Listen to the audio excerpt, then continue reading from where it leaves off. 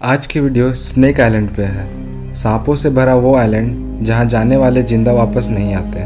तो चलिए बिना टाइम वेस्ट के वीडियो को स्टार्ट करते हैं। हमारे आसपास कई ऐसी जगहें मौजूद हैं जो रोमांच, रहस्य और अजूबों से भरी हुई हैं। कई जगह ऐसी हैं जहाँ प्रकृति की खूबसूरती देखने को मिलती है तो वहीं कई जगह ऐसी भी है जो जोखिम से भरी हुई है।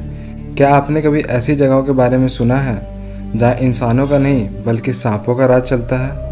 अगर नहीं तो आज हम आपको ऐसी ही जगह के बारे में बताने जा रहे हैं, जहाँ जाना खतरों से खाली नहीं है। इस जगह पर इतने सांप रहते हैं कि अगर कोई इंसान वहाँ गलती से भी चला जाए तो उसके ज़िंदा वापस आने की उम्मीद नहीं की जा सकती है। दरअसल यह खतरनाक जगह ब्राज़ील में है, जिसे स्नेक आइलैंड के नाम से जाना जाता है। इस आइलैंड का वास्तविक नाम है इलाहा द क्यूमिडा है। वैसे दूर से देखने में यह आइलैंड काफ़ी खूबसूरत लगता है।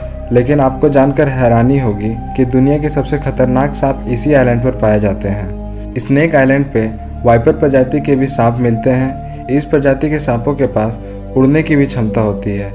कहते हैं कि इन सांपों का जहर इतना खतरनाक होता है कि इंसान का मांस तक गला देता है। इस आइलैंड पर अलग अलग प्रजाति के 4000 से भी ज़्यादा सांप हैं। ब्राज़ील नेवी ने आम इंसानों का इस जगह पर जाना प्रबंधित कर रखा है।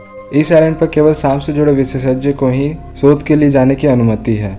हालाँकि वो भी केवल तटीय इलाकों में ही शोध करके लौट आते हैं। आइलैंड के ज़्यादा अंदर जाने की हिम्मत उनकी भी नहीं होती। हालाँकि चोरी छुपे कुछ शिकारी भी इस आइलैंड पर जाकर अवैध रूप से सांपों को पकड़ते हैं और उन्हें बेच देते हैं। यहाँ मिलने वाले गोल्ड लाइसेंस वाइपर की कीमत अंतर्राष्ट्रीय बाज़ार में 18 लाख रुपए है।